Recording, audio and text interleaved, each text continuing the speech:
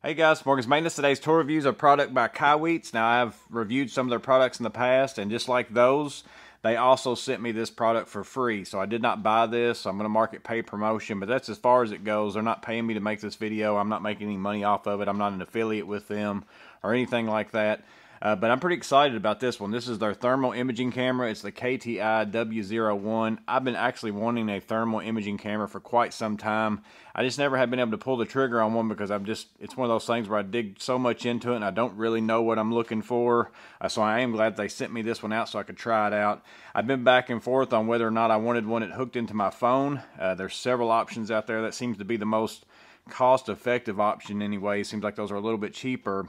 But at the same time, whenever it comes to my phone, I was like, well, they're liable to change what kind of port my phone takes to charge and hook accessories in, you know, a year from now when I upgrade my phone and then my thermal imaging camera is not going to work with it. So I actually had already decided if I got one, I was kind of wanting to get a, you know, by itself, just handheld unit, not tied to my phone in any way. And plus it makes me to where I'm not tied to my phone while I'm doing work with it or something like that. So again, this is the KTI W01. It's going to run you around $300 on Amazon, but they also have a $40 off coupon. I don't know if that's all the time, but that's what's running right now. So you're looking at $260. Uh, that's in that price range of kind of a budget friendly. I guess it just depends on how good it is.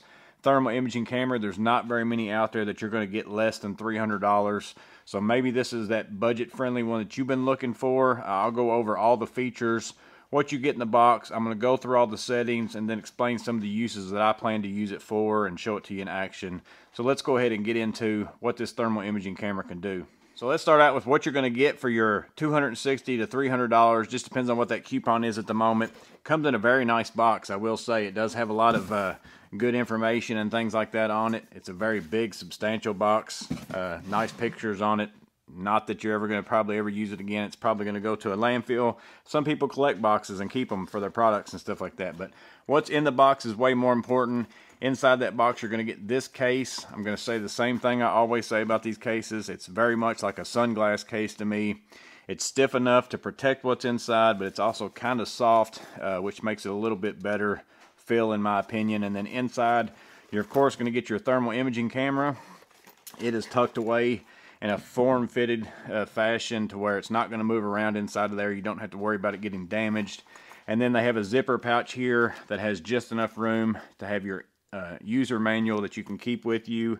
Does come with a USB-C cord as well. And then this one actually does come with a wall charger that you plug into the wall. It's actually inside my house right now, so uh, you just have to take my word for that. So all that could get tucked away inside of there. That's nice that it comes with all that. And then within the unit itself, you're going to get the unit. It, it has the batteries built into it. As I mentioned, it does come with a USB-C cable. It does charge via USB-C right there. There's a USB-C port.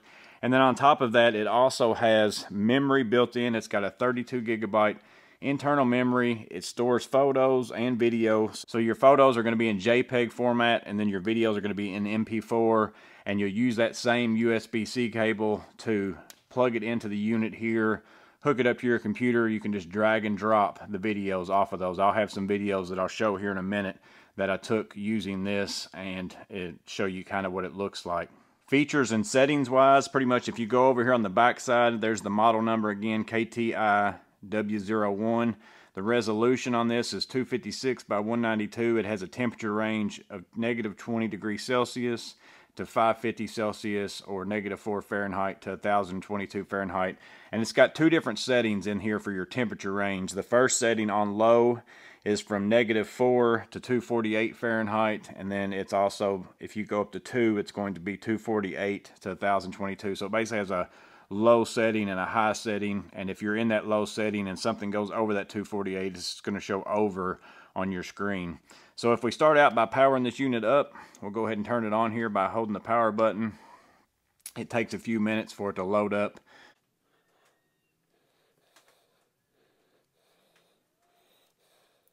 After we've got it booted up, I'm going to lift up this protective lens cover that's built into it. So that's nice again. So when you're putting it away and you're not using it, you can flip that down.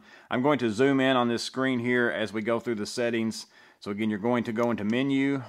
You're going to have photos, so you can scroll through the photos that you've recently taken. I'm not sure if I've got some stored on here or not. I'm going to check.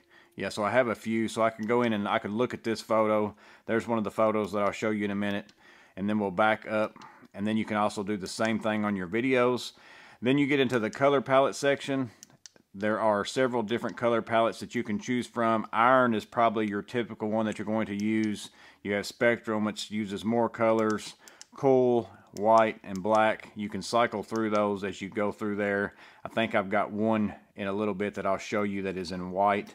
Then the next thing you have is emissivity, which you can basically change the setting on this. I'm not an expert in this, so I couldn't tell you. I know this 0.95 seems to be the typical, and then everything else, and they've got it in the user manual. So basically what that is, if you know kind of what the emissivity is of whatever it is you're checking, whether it's wood, concrete, whatever, you can change this setting and it kind of will give you a more accurate measurement is how it's mentioned inside the user manual. Again, I'm kind of new to thermal imaging, so I'm just going through this and I have nothing else to compare this to, but I feel like it's a pretty good one so far in the amount that I've used it. So then you can get into settings. You have auto shutdown, so you can turn it to where it shuts itself down uh, within, I think it's 5 minutes, 20 minutes, or turn that auto shut off off. You can get into your brightness levels, which I might go ahead and see if I can turn this up on high now see if that helps y'all see a little bit better. I normally keep that on low just to save on battery life. Here's all the available languages that it comes in. So that way if English is not your language, you can look and see if one of those is your language, which some of those I can pronounce. The bottom two, I don't know what those are uh, units of measurement. So you can go from Celsius and Fahrenheit, whichever way that you are. If you use Celsius as your temperature range, or if you use Fahrenheit, you can change that. Uh, so I like that, and it stays that way every time. You, you don't have to change that every time you power it on and off. Uh, you get into your temperature range. Again, that's where you have your low, which is negative 4 to 248, or your high, which is 248 to 1022 Fahrenheit. And I'm sure if I change that up to Celsius, I can tell you what the range is on that as well. So we'll go back in and go to temperature range. And that gives you negative 20 to 120 is your low and 120 to 550 is your high on that. So I'm going to go back and change that real fast so that I don't get mixed up on something. Uh, your time format, so you can change it to 24 hour or your time, and then you can set your time. That way, for whenever you take videos and pictures, you've got a documentation of, you know, when did I take this video so that your client can see, yeah, it was at my house, it was at that time. Uh, and then you can take and turn your spot on or off. That's the spot that you'll actually see here in a minute whenever I'm showing it to you, and then the version. So that's pretty much all your settings. Uh, one of the main settings that I really like on it as far as using it, and if I turn on my, I'm to go ahead and turn on my Metabo heat gun over here so you can see that. I've also got a cup of coffee that's kind of getting cold uh, but one of the settings that I like is on my screen, you can see it gives you the min and the max at all times of whatever. So right now the green is the coldest thing in the room.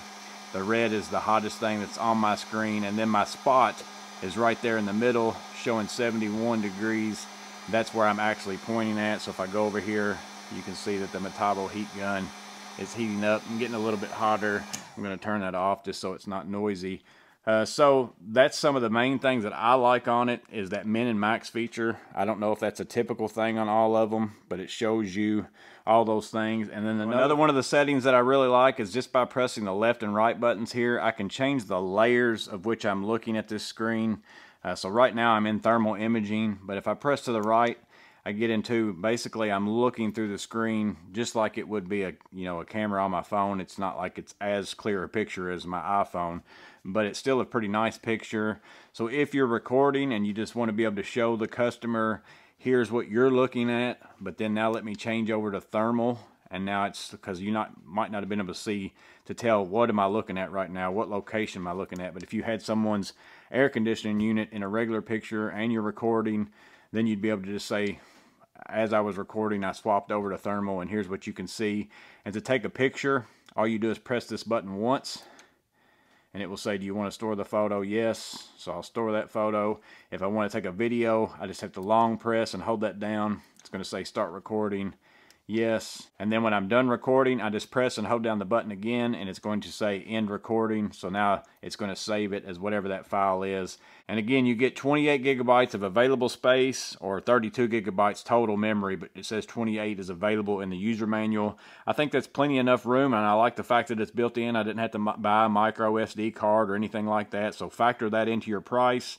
Uh, whenever you're going over and you're looking at other people's options you might have to buy a memory card. It may cause it to be a little bit more expensive. So that's pretty much all the features of it. I think the only thing I didn't cover is it does have a rechargeable battery. It is stored inside of this handle here, which you can pop out, and it is kind of a changeable battery.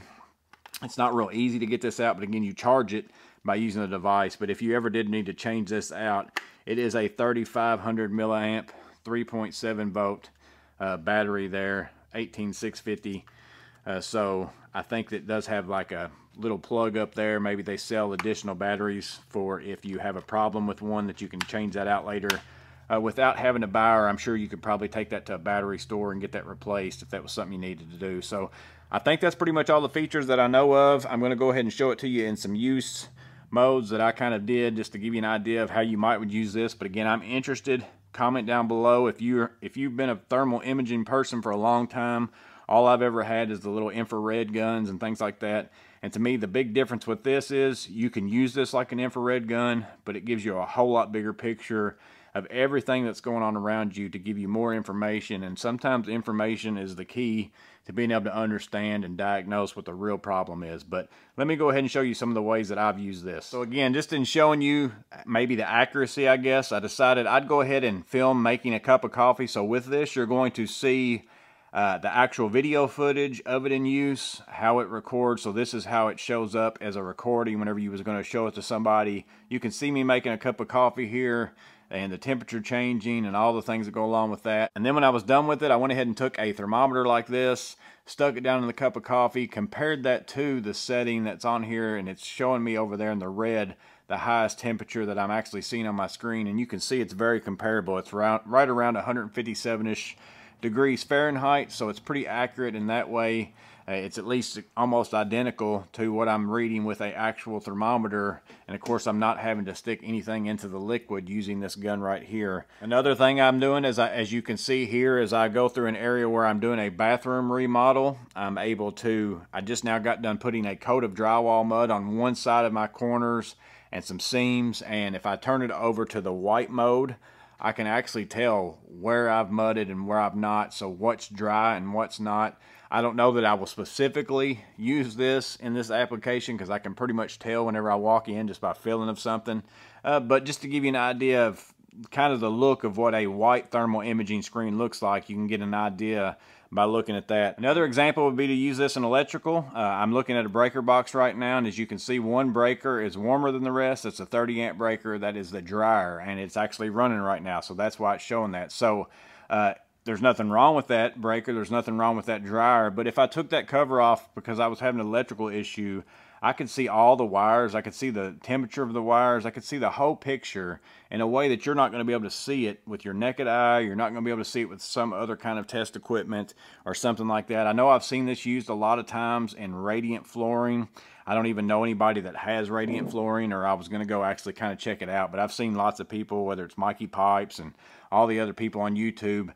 So if you go in and you're installing uh, flooring or something like that, and somebody's got radiant flooring, this will give you a rough idea of where it's at in comparison. So maybe you won't shoot a nail through it or whatever it might be. It's just something that might be helpful. And again, it's giving you more information than you can absolutely see with your own naked eye or with other equipment. You could use it for cold spaces to find where that uh, cold spot is. Maybe you need to add some insulation in some areas. Again, all those things that you might would normally stick this at and shoot an infrared thermometer to get a temperature reading, you could use it for that. And then, uh, but you're getting everything else that's around it. Like right now, if I was on this cup of coffee, but I can see that maybe I've got something else going on over here in the background. It just gives me more information of what's going on, something I might not would have checked, or even just for it's pretty cool at nighttime. If you hear a noise at something, you can go outside. Nobody's going to be able to hide from you. You can go full predator mode.